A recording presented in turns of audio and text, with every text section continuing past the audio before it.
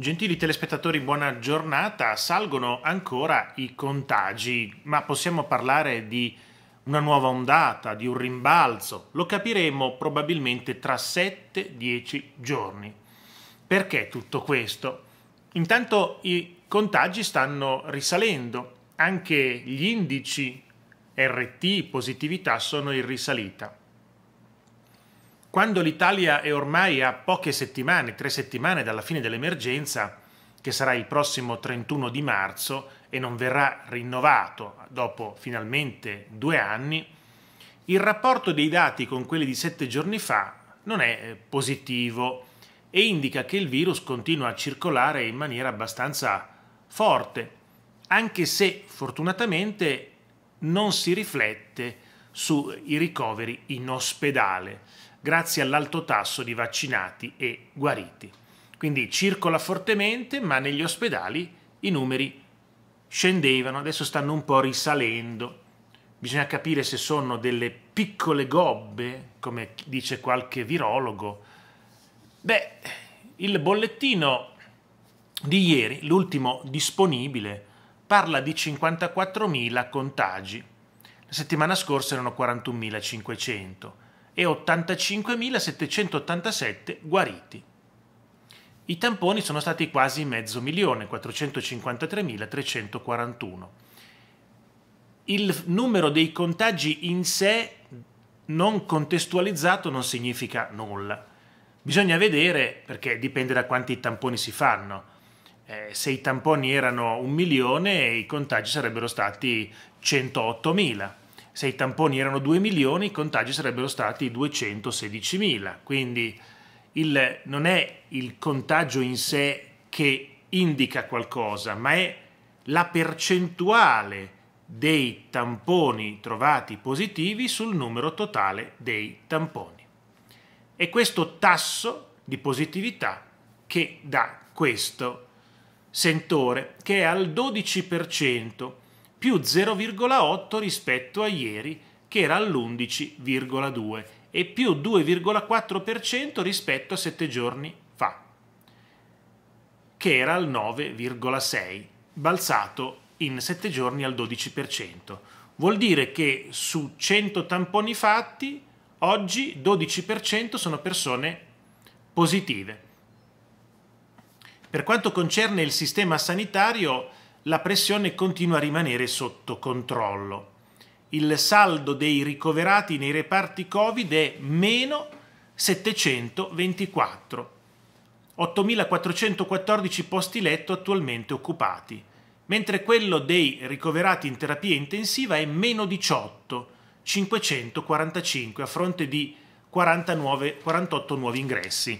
Perché questi numeri, il meno 724 dei reparti Covid, è la somma tra chi entra e chi esce. Meno 724 vuol dire che ci sono state molte più persone che sono uscite. E questo anche nelle terapie intensive che scendono a 545, solo un mese fa erano a 1700 e nei reparti Covid si arrivava quasi a 20.000, pertanto i numeri sono assolutamente confortanti c'è un nuovo aumento dei casi Covid più 1,5. Il presidente Cartabellotta stima che in 7-10 giorni e questo è il tempo per capire se l'incremento sia l'inizio di una nuova ondata o un semplice rimbalzo. La priorità rimane quella di provare a convincere gli oltre 4,5 milioni di persone che non hanno ancora ricevuto la prima dose, dicono. Eventual, ovviamente chi non ha ricevuto la prima dose ancora oggi non credo che sia poi così intenzionato a fare la prima dose di eh, vaccino, nonostante siano arrivati dei vaccini nuovi, come si chiama quello? Novavax, eh, ecco, però non, non ha, pensavano, qualche ingenuo pensava che un nuovo vaccino con caratteristiche diverse avrebbe convinto il vero Novax, quello ideologico, perché di quelli che sono rimasti adesso eh, c'è una grande componente di quelli del no ideologico e poi l'altra componente sono quelli che hanno paura. quindi gli indecisi hanno poi già deciso, ecco. Pertanto, intanto vi racconto che dal, dal governo arriva il primo sì allo Ius Scolae, ma il centrodestra si divide perché in Commissione Affari Costituzionali ha dato il primo ok a, questo, a questa proposta. A favore Forza Italia votano contro Lega e Fratelli d'Italia, quindi il centrodestra si è eh, diviso su questo. Bisogna capire intanto di che cosa realmente si tratta in questo ius scholae, qual è, qual è il nucleo della legge, perché eh, cittadinanza più facile, ma così è troppo semplice parlare di cittadinanza più facile, ma di questo ne parleremo anche in un video dedicato solo a questo fenomeno. Intanto a di martedì, che si svolge martedì sulla 7, Alessandro Di Battista, detto il Che Guevara di Roma Nord, se la prende con Mario Draghi, dice un cartonato e poi lo paragona ad una pecora.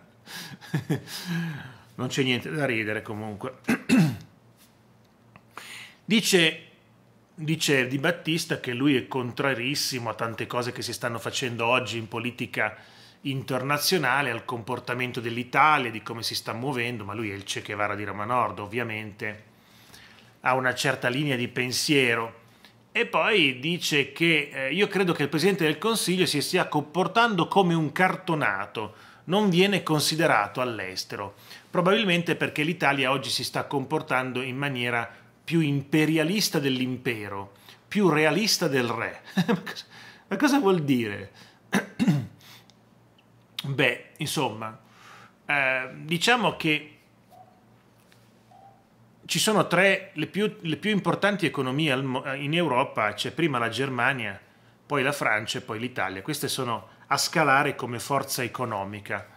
Eh, pertanto spesso parlano solo con Germania e Francia, non per escludere l'Italia, ma perché parlano con le prime due economie europee. Potrebbero parlare con le prime tre, ma parlano con le prime due. Poi c'è Spagna e tutte le altre, del, il totale dei 27 paesi. Eh, questo è il, il, motivo.